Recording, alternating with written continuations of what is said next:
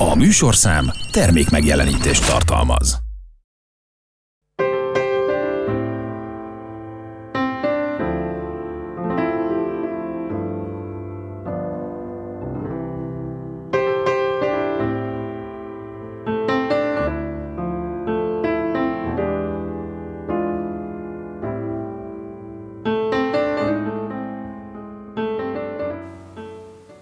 Szép estét kívánok, köszöntöm a Fehérvári Beszélgetések nézőit. Mai vendégem Csekei és Szabolcs, tisztelettel köszöntelek. Ugye január 31-én úgy búcsúztunk, hogy rövidesen találkozunk, hát a rövidesen most következett be, hiszen megjelent a Tűfokában című új köteted. Előtte ugye a zuhanásról beszéltünk még hozzá hosszasan, én azt gondolom, hogy ez egy, ahogy mondják a nézők is, ahogy fogalmaz egy költőbarátot, hogy Csekei Szabolcs lírája azért rokon szenves számomra, mert a hagyomány és a megújítás szintézisét próbálja megvalósítani immáron figyelemre méltó módon. Nos, hát ezt ugyanezt elmondhatjuk a tűfokából kötetre, még egyszer megmutatom, én azt gondolom, hogy ez egy nagyon fontos lépcső. Te úgy fogalmaztál, hogy jelet hagyni a jeltelenedőről. Igen. Ez egyik versenben szerepel, jelet hagyni a jeltelenről, illetve jeltelenedőről, időközben ez így alakult. Ugye igazán nem sokat törődnek ma ezekkel a jelhagyásokkal, amikből a jövő is épülhetne, vagy pedig szeretik saját szájézük szerint értelmezni. Nagyon sok ambivalens jelenség van a világban, világpolitikában, közvetlen környezetünkben, és én úgy érzem, hogy mint hogy egy másik beszélgetés más helyen megtörtént, és annak alapján egy kis, hát elektromos sajtóban egy kis riport is, hogy a múltat megváltoztatni nem lehet, hanem tanulni kell belőle. Ha megváltoztatni akarjuk, az általában csak állandó marakodáshoz, egyetlen említéshez vezethet. Ami egyébként az emberiségnek az egyik legnagyobb problémája, mondhatnánk úgy, hogyha bibliailag, misztikusan értelmeznék az Izenkert óta is, és nem véletlen, hogy ennek a kötetemnek az a címe, ennek a részben összegző jellegű kötetemnek, hogy tűfokában, nem a tű, hanem tűfokamban, tehát általánosabb jelleggel, ami egy bibliai parafrázisnak a felhasználása, hogy szól az idézet, a biblia idézet, hogy könnyebb átjutni a tevének, átférni a tevének a tűfokán, mint a gazdag embernek a paradicsomban. Én ezt úgy alakítottam át a cimadó vers kedvéért is, hogy könnyebb átférni a tevének a tűfokán, mint a ma emberének bejött a paradicsomba. Érzelmi ugye, értelem. Ugye úgy fogalmaztál, hogy ez egyfajta összegzés. Az összegzés a szembenézést is jelent, múltal, jelennel, illetve jövővel. Ezt hogy, hogy írtad meg, hogy kívánod megmutatni nekünk azokat a gondolatokat, amelyek erre sarkaltak? Tulajdonképpen ugye, hogy a kötet, hát hogy mondjam, témáját is egy kicsit megjelöltük, hogy nem csak új versek vannak benne, megújított versek is, bár azért behatárolt időszak versei ezek, biztos nézted a ciklus beosztásoknál, valahol jelölöm is ezt. Igen, hát itt nézem, hogy az emlékezet, egy versbeszéd, ez egy különleges stílusban megfogalmazott gondolatsorok, aztán a tűfokában, létviharban 2015-től 18-ig, a harmadik rész a Szürke Zóna 2019-20, a Surzum Vivére, és hát a Gilgames útjai a függelékben. Egy kicsit kezdjük, a, ha szeretném, ha egy-egy rövid idézettel megszakítanánk ezt a beszélgetést, mert nyilvánvaló, hogy kellően fontos, és látom, hogy te magad is bejelölted. Egy-két verset. Akkor halljunk egyet először az elejére. A maga ez az emlékezet, van a záróvers is, a függelék, tehát a Gilgames aktualizálás, eposz aktualizálása előtt, ami szintén egy ilyen korunknak szóló összegzése, civilizáció korai tapasztalatairól jött eposzomból. Valójában a tehát ott is a végén egy emlékezet című vers van, ahol ajánlom a kötetet utófelajánlásként az engem felnevelő ötvös kollégiumnak.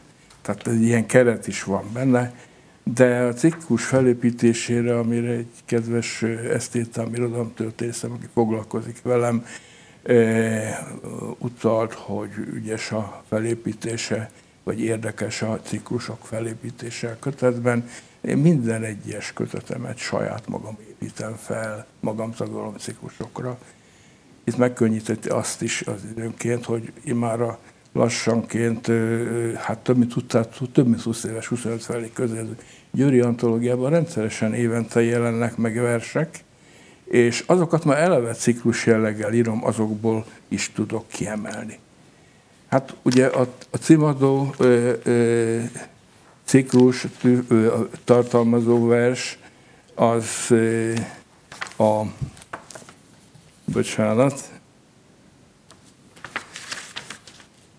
az a Tűfokában című vers a első igazi ciklusban szerepel,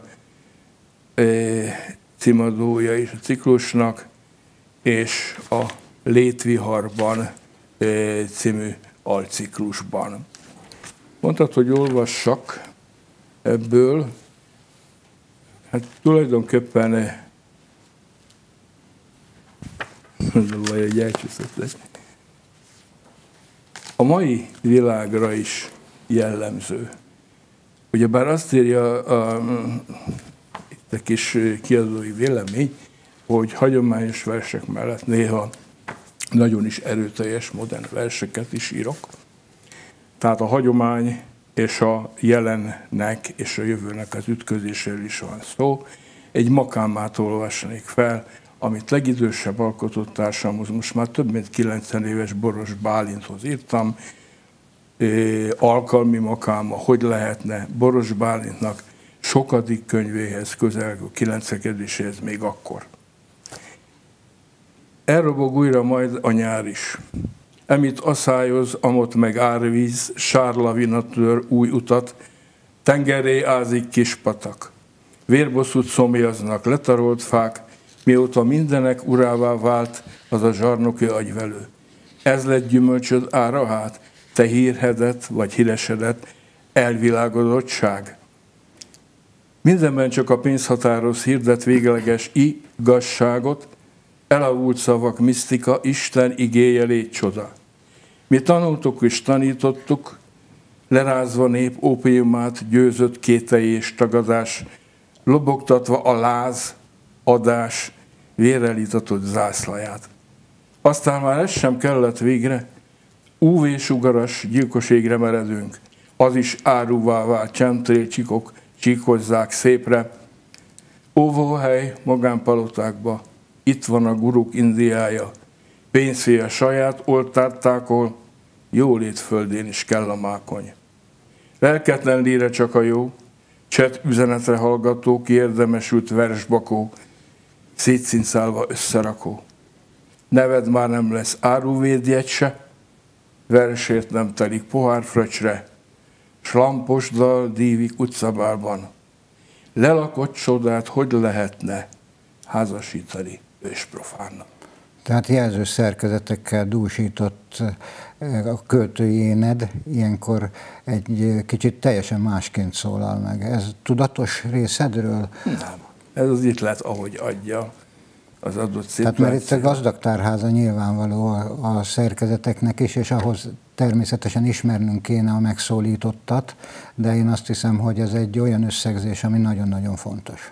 Hát szövegvers végeredményben makalmat, de rímes szövegvers, Igen. és hát valóban eléggé modern képeket sikerült alkalmazom, de ez nálam inkább ihletettség kérdése. Beugrik egy kezdősor, és nagyon gyakran utána szinte egy záró gondolat is, és elkezdem írni, és akkor valahogy ez a zárlat és kezdés, felütés, ami a versnél mindig fontos. Kilöki a címet is, és valójában végig leírom a azon és nagyon keveset kell rajta változtatni. És hát ugye, ha modernabb kifejezések kerülnek bele, akkor az már eleve ezt inspirálja. Igen, de ez viszont rendkívüli felelősség. Tehát döntéskényszerben van az olvasó is, hogy hiszen minden egyes szóra, minden egyes jelzőszerkezetre oda kell figyelnie, hogy az egységes egészet képezzen, és itt maradjon bent nekünk. A következő ciklusokban hogy építetted fel ezt a történetet, hiszen ez így egy egységes egészet alkot? Végeredményben a tűfokában itt még a Létviharban című szakaszhoz kapcsolódik a címadóvers is, ami egy felújított versem, performance formában, ahogy mondtam a mottót, ugye ez a tűfokában vagyunk elakadva.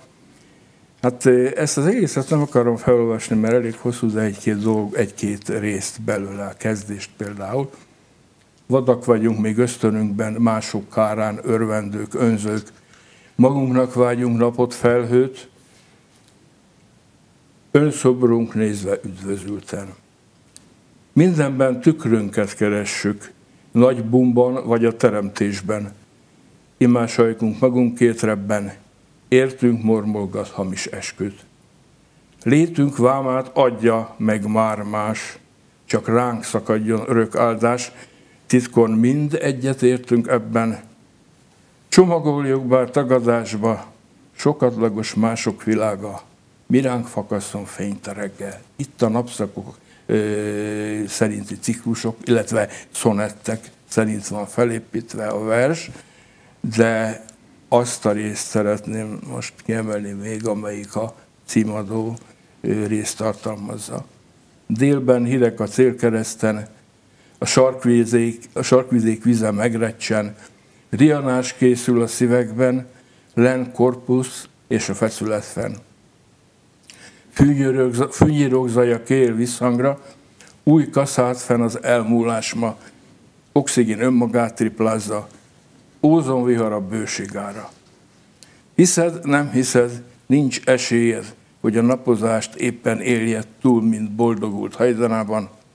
A lehetetlent, ha beméred, tán feleded a rettegésed, meghúzva magad tű fokát. Igen, tűfokában.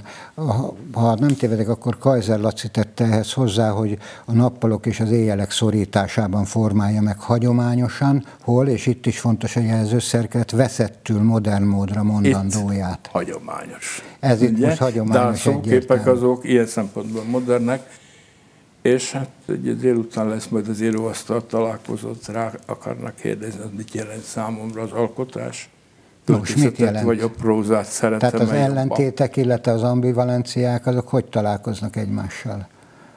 Hiszen a választás kényszere azért csak-csak megvan Ugye a ezt tanári múltamból is azok talán az önkifejezés kényszere, de gyerekkori álmomból is, hogy író szerettem volna lenni, visszahúzódó voltam, megfigyelő inkább. Azt mondta a legfőbb kritikusom, hogy osztályfőnököm is volt korábban, ezt nem gondolta volna, hogy ilyen, ilyen aktív leszek, annyira visszahúzó, és egyébként mindennek megfelelően akaró ember, egy emberkénnek látszottam. Sikerült valahogy egy olyan magatartásként gondolom, hogy tényleg valahogy jobban, mélyebben éreztem át a mások dolgait, és, és akkor aztán ezek ütköztek az én elképzeléseimmel, és talán ebből fakad ez a, ez a közlési vágy. Viszont tény és való, hogy, hogy főleg itt a Vörös Mati Társasággal kibővülve költői kapcsolatok, vagy egy irodalomtörténeti elgondolások, tehát nem csak a tanári dolgok, hanem ott irodalom elmélettel foglalkozó emberek is vannak hogy ugye az ösztönös képalkotásaimban úgy elgondolkodtam, hogy valóban honnan jönnek a hagyományos verselés, mert sokszor teljesen modern, sőt egyesek szerint új általam alkotott szavak, kifejezések. Ez filozófiailag mindig érdekelt, ugye egy nagy magyar ö, ö, nyugatos alkotónak az eszmélet című nagy filozófiai tanulmányára gondolok, ahol ő már ezt fölvetette, hogy a nyelvrendszere de egyáltalán az emberi tudat kialakulása, a Matrix. Akkor, amikor még a Matrix film mm. sehol se volt, és ott magyarázott a Matrixot, hogy hol lehet egyes koordinátákon teljesen véletlenül találkoznak ugye a képek, és akkor azok kifejezésekké, gondolatokká, fogalmakká alakulnak át. És még érdekesebb volt Kapdebó Tamás könyvének az olvasásában egy tanulmány, amelyik felvetette azt, és rájöttem, hogy tulajdonképpen József Attila képalkotása ezt sugalta nekem, bár nem tudatosan választottam, ez a roppant, ugye, hogy mondjam, sokszor egymáshoz nem passzoló képeknek, hát asszociatív egymás mellé passzítása. Ő ott ezt meg is fogalmazta szó szerint, nem asszociáció, hanem diszociáció, vagy diszociáció, amikor egymástól nagyon messze álló fogalmakat valahogy az ihlet kapcsán egy szóképbe sikerül összekapcsolni. Tehát ennek is köszönhető, hogy jószerivel soha nem vagy sematikus. Tehát mindig Csekei Szabolcs vagy egyik oldalról, és mindig az a költő, aki megújul, és próbál valami olyan szintézist bemutatni, ami az olvasónak is új, talán, viszont gondolkodásra késztet, és ráadásul egyfajta összegzést nyújt. Hát ugye én sokat hívottam, hiszen írónak készültem, erről már beszéltünk, és már 19-es koromban kisregennyel jelentkeztem, amit csak jóval később sikerült bedolgozni egy nagy regénybe. És hát most is ugye elsőbb költő vagyok, végül is úgy látszik költővé kellett válni, hogy prózaírói álmaimat is kezdjem megvalósítani. De tényes való, hogy, hogy mint irodalomtanár is, meg irodalmet, meg kultúrfilozófiával foglalkozó ember is, ugye azt mondtam, hogy valóban tényleg érzem, hogy van bennem valami, amit egyesek szinte beteges önkifejezésű vágynak, vagy ilyen, hogy mondjam, kivál, kitűnési, dicsekvési hajlamnak, nagyzolási hajlamnak gondoltak, még nem aztán látták a megvalósulását. De én akkor lépek a nyilvánosság elé, ha azzal léphetek, amivel akarok, és nem akadályozza a cenzúra, amiről itt már beszéltünk. Igen. A saját öncenzúrám sem akadályozza, valami olyannal, ami mégis eredeti, bár mindent megírtak már, de nem mindegy, hogy hogyan. Igen, hát Tehát ez róla nagyon sok mindenki írt már, és általában mindenki kifejezi, hogy egyszerre van nálad árnyék és fény, illetve áldás és átok. Tehát ez a kettősség azért mindig megjelenik mindenféle felsorolás nélkül, mondhatjuk a könyveidben, mert ez, ez így volt eddig is, hát a zuhanásban ez tetten érhető egyértelmű, de akár itt is kiegészítik. Kiegészítik Ezek azt hiszem, ez az alapvető tulajdonságokat hiszem meg. No, a, hallgassunk meg még egy verset, én azt javaslom. Talán annyit, hogy a másik zóna, a, szürke, a másik ciklus, az alciklus, a szürke zóna, illetve hát nem is alciklus, hanem ciklus, szürke zóna, amelyik hát a Covid korszaknak az ihletéssel adtál főleg. Ebből külön nem akarok kiemelni most verset, de Hát nem tudom, mennyit olvashat, milyen hosszút olvashat közepes. Egy rövidet hallgassunk csak, hogy a szürke zónát tudjuk elhelyezni a, a, hát ebben a, leginkább, talán melbevágó, bár nagyon még nem nyíl, került nyilvánosságra, csak antológiába. Utóirat kölcseihez a himnusz megszületésének közelgő 200. évfordulójára című vers, most már ugye ezt meghaladtuk, két idézettel nekünk Mohács kell Adi megbűnhöttem már a nép a múltat jövendőt, én kérdőjellel alkalmazom valójában ez a kérdés. É, neked Mohács kell Trianon, bármi, ami csak árthat, ébredjél végre föl magyar, megöl az önsajnálat. Légy őszintén magad előtt, mérjed fel maradékerőt, megbűnhötteted múltaddal, ne fogyaszd a jövendőt. Tehát itt van nekem a válaszom arra, hogy megbűnöttük-e, meddig marcagoljuk még magunkat azzal, hogy még mindig jogosan bűnködünk, vagy jogtanalul büntetnek magunkat. Sebeid meddig gyártod? Jókedvet megtagadtan. Lehet meg vigasztalásod, tetrekész önmagadban. Miért fel, hogy mi a jó irány? Egegik nem hat a sirám. Kik reményük kizsebelik, víg esztendőkre nem telik nekik. ezt a részt szerettem volna felolvasni, bár van még pár Igen. verszak. Igen. A utolsó ciklus, az a viszont talán gondolom még szeretném volna rákérdezni, ez a sursum vivere, amely eszenciája a kötetnek, ugye latin kifejezés, emelkedve élni, felfelé élni, a visszahúzó erők ellenére. Tehát mindig törekedni a sok-sok ellentmondás, a sok-sok rosszakat visszahúzni, vagy kordivat ellenében is, hogy az ember megtalálja magában ezt, akár vallásosan, akár filozófiailag, akár hétköznapi értelemben. Igen. Mondhatnák jó akarat. Tulajdonképpen búcsúzó ide illik a mottód is, hiszen jelet hagyni a jeltelenedőről, akár egyfajta álomrealizmus jegyében is értékmentő értékteremtésként. Én azt hiszem, hogy ez mindenképpen ideillik, és én azt gondolom, hogy, hogy én már most ajánlom mindenkinek, aki szereti a mélységet és a magasságot együtt látni, együtt olvasni és elgondolkodni rajta. Úgyhogy köszönöm szépen, hogy megtiszteltél. Én azt hiszem, hogy, hogy nagyon fontos ez a kötet. Kedves nézőink, önöknek is ajánlom. Köszönöm szépen, hogy itt Én voltál velünk. Kedves nézőink, a fehérvári beszélgetéseket látták. Csekei Szabolcs volt a vendégem, és az új megjelent kötetéről, a Tűfokában című kötetről beszélgettünk. Köszönöm megtisztelő figyelmüket, viszontlátásra!